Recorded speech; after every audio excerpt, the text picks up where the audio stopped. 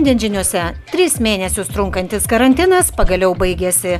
Korupcija įtariamas Valdas Sutkus atsistatydino iš Lietuvos verslo konfederacijos prezidento pareigų. Skestančiųjų gelbėjimas Kaune jų pačių reikalas, ypač jei tie skestantis gyvena šančiuose. Ekstremalių sveikatai situacijų centras iš Vilniaus perkeliamas į Kauną. Turistus iš užsienio siūloma vilioti kompensuojant jiems kas trečią naktį Lietuvos viešbučiuose. Vyriausybė nuo birželio 17 dienos atšaukė dėl koronaviruso pandemijos įvestą karantiną, tačiau lieka galioti vasario pabaigoje šalyje paskelbta ekstremali situacija. Toks sprendimas priimtas atsižvelgusi tai, kad nuo balandžio pabaigos šalyje fiksuojama sergamumo COVID-19 mažėjimo tendencija. Ypač situacija pagerėjo paskutinę gegužės savaitę, o paskutiniuoju metu nei vieno naujo COVID-19 atvejo nebuvo registruota 41 iš 60 šalies savivaldybių. Įvertinus šalies statistiką vėlinamasi rizikos susirgti koronavirusų amžius. Šiai grupiai nuo šiol bus priskiriami nebesulaukę 60, o 65 ir vyresni gyventojai. Atsisakoma ir formuluotės rizikos grupė. Pirmiausia, norėčiau, kad mes jau pratintumės prie kito termino, ne rizikos grupė, bet asmenys, kuriems yra padidintas pavojus susirgti. Tai prie to termino reikės įprasti. Ir antra, tai susijęs su jau sergamumo statistinė rodiklė, sergamumo ir mirtingumo bei pasiekmių statistinė situacija mūsų šalyje. Jeigu mes anksčiau rėmėmės kitų šalių praktiką, pasaulio sveikatos organizacija, šitie duomenys yra pagristi jau Lietuvos praktika, dėl to šitie asmenys, kuriems yra didesnė tikimybė arba didesnis pavojus susirgti, penkeriais metais pagal mūsų turimą realią situaciją gali būti tas skaičius padidintas. Kaukės nuo kito antradienio nebeprivalomos, bet tik rekomenduojamos. Vertinkime per tuos tris mėnesius nuo mokslininkų pasisakymų apie kaukės ir respiratorius, nuo reikia, nereikia, nepadeda. Na, vis daugiau matyt mes turime duomenimis pagrįstų įrodymų teikiamų mokslininkų, kad tai yra viena iš priemonių, kuri padeda apsaugoti pirmiausiai kitus. Tai jauskime atsakomybę už kitus ir saugokime. Ir manau, kad tų rekomendacijų ir privalomų sąlygų, kurios išlieka pagal operacijų vadovų sprendimą, reikia tiesiog laikytis ir vykdyti juos. Esant ekstremaliai padėčiai į Lietuvą bus leidžiama atvykti iš Europos valstybių, kuriuose pastarąsias dvi savaitės koronaviruso atvejų skaičius neviršijo 25 atvejų 100 tūkstančių gyventojų. Į naujausią sveikatos apsaugos ministerijos paskelbtą sąrašą šalių, iš kurių leidžiama atvykti užsieniečiams, šiuo metu įtrauktos 28 valstybės. Atvykstant iš 26 šalių tiek lietuviams, tiek užsieniečiams nėra būtina izolacija.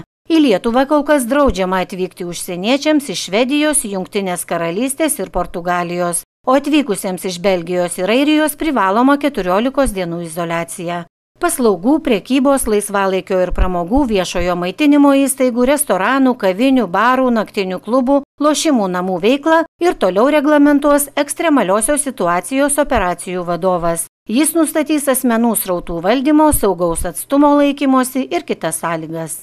Taip, ekstremali situacija leidžia riboti ūkinę veiklą ir ekstremalių situacijų operacijų vadovas tokius sprendimus turi teisę priimti. Nuo kito antradienio iki birželio pabaigos atvirose erdvėse bus leidžiami renginiai su nedaugiau kaip 700 žiūrovų ar dalyvių, neskaičiuojant atlikėjų, sportininkų, organizatorių ir aptarnaujančio personalo. O uždarose erdvėse nedaugiau kaip 150 žiūrovų ar dalyvių be organizatorių. Nuo Liepos 1 iki Liepos 16 dienos atvirose erdvėse bus leidžiami renginiai iki 1000 žmonių, o uždarose patalpose iki 200 žmonių be personalo. Ekstremalios situacijos pabaigos terminas nenustatytas, tačiau dauguma jame įrašytų ribojimų galioja iki Liepos vidurio.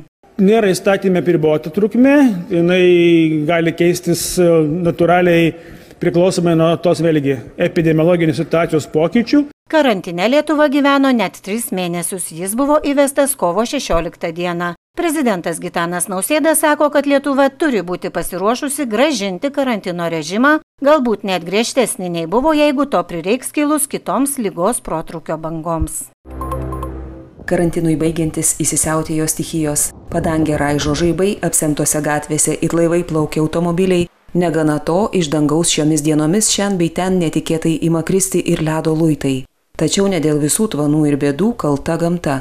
Juoka pro ašaras kai kuriems kauniečiams kelia vienas iš didžiausių Kauno mero pasididžiavimų - atnaujintos Kauno gatvės. Mat kai kuriuose Kauno vietose žmonės 21 amžiuje gyvena it gudžiais viduramžiais. Jaunųjų talkininkų gatvės gyventojai jau 13 metus palyjus lietų į savo namus gali pasiekti tik nusijavę batus ir atsiraitoję kelnes. Po kiekvienos liūties vanduo čia apsime visą gatvės plotį bei pėsčiųjų takus, o liūtims užsitęsus gatvė tampa tikra upe, kuri nuslūksta tik užėjus sausrai. Kadangi pas mus čia yra žemiausia vieta ir visas vanduo iš visų gatvių sutekia pas mus į šitą vietą smarkiau palyjus žmonės negali praeiti gatve, mašinos tiesiog va, bijo važiuoja, pristabdo. Prašymus padėti išspręsti kritišką situaciją, kuri susidarė dėl netinkamai atliktų susisiekimo komunikacijos įrengimo darbų, gyventojai Kauno miesto savivaldybės administracijai pradėjo rašyti dar 2008 metais. Be maž kasmet beveik raštai rašyti ir, ir 8, 10, 12, 14 rinkom parašus bet taip nieko ir nesulaukėm. Atsakydamas į gyventojų prašymus gelbėti nuo tvano Kauno miesto tvarkymo skyriaus vedėjas Aloizas Pakalniškis sako suprantantis gyventojų nepatogumus dėl susikaupusio vandens, tačiau negalintis išspręsti problemos. Ir prašo gyventojų dar truputį palaukti, kol nuotekų tinklas bus įtrauktas į plėtros programą.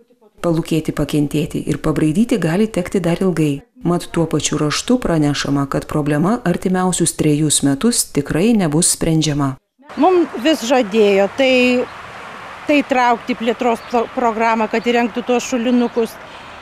Bet taip ir liko tik pažadai. Kažkelintais metais sakęs įsirengti savo lėšom bet kadangi mes savo lėšom tikrai neturim galimybių įsirengti visą lietaus nuotekų sistemą. Ir dvidešimtais jau paskutiniu raštu gavom atsakymą, kad iki 23 metų jokių lietaus nuotekų nežadama įrenginėti ir prašo mūsų dar pakentėti. Gyventojai skundžiasi ir tuo, kad draudėjai atsisako drausti nuolat semiamus jų rūsius. Savivaldybės aplaidumas įtin pakenkė ir gatvelėje įsikūrusiems smulkiesiems verslininkams. Jie dėl patvinusios gatvės netenka daugiau kaip pusės parduotuvės klientų labai paveikia, kada apsėmė, tai žmonės negali ateiti į parduotuvėlę apsipirkti, kadangi tokia situacija apsemta viskas prieiti neįmanoma. Trečdalis gal klientų ateina, kita, kita pusė tikrai negali. Kaunas gal ir tvarkosi, bet nebūtinai ten, kur to labiausiai reikia. Kai kurie kauniečiai dėja metų metais paliekami skęsti balose.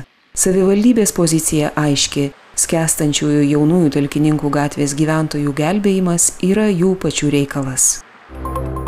Korupcija įtariamas Valdas Sutkus atsistatydino iš Lietuvos verslo konfederacijos prezidento pareigų. Naujoju konfederacijos vadovu išrinktas laikinai šias pareigas ėjęs Andrius Romanovskis. Sutkus teigia nesutinkantis su jam pareikštais kaltinimais, bet sako, kad dėl susidariusios situacijos jam tinkamai toliau eiti šias pareigas yra neįmanoma, nes visą energiją šiuo metu turinti skirti asmeniniai teisiniai gynybai.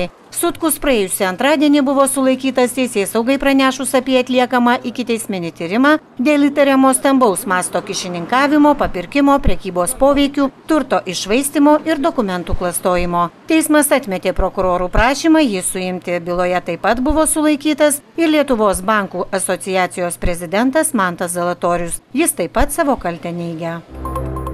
Perkelti Žemės ūkio ministerijos į Kauną kol kas nepavyko, užtat į Kauną netrukus kraustysis dalis sveikatos apsaugos ministerijos darbuotojų.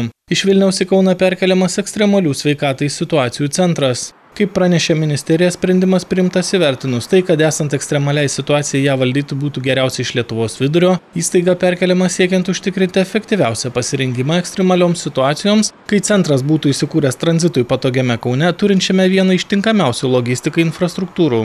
Pasak ministerijos šis sprendimas leis sumažinti ir ekstremalių sveikatai situacijų centro veiklos riziką susijusią su galimomis geopolitinėmis grėsmėmis, taip pat leis optimizuoti reagavimo laiką į ekstremalią sveikatai situaciją. Jau sudaryta panaudos sutartis su turto banku dėl pastato, kur įsikur šis centras.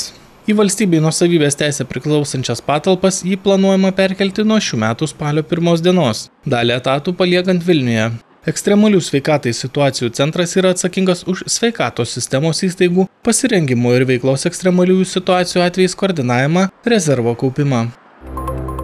Siekiant po koronaviruso pandemijos paskatinti turizmą, ekonomikos ir inovacijų ministerija siūlo į šalį atvykusiems turistams kompensuoti kas trečią naktį Lietuvoje. Ministerija skaičiuoja, kad tokia priemonė galėtų pasinaudoti apie 10 tūkstančių turistų. Nacionalinė turizmo skatinimo agentūra Keliauk Lietuvoje taip pat sako, kad tokia priemonė reikalinga, nes koronaviruso pandemija labai padidino konkurenciją dėl turistų. Vyriausybė yra numačiusi 45 milijonus eurų paramos turizmo sektoriui, iš jų 15 milijonų eurų atvykstamajam ir vietos turizmui skatinti.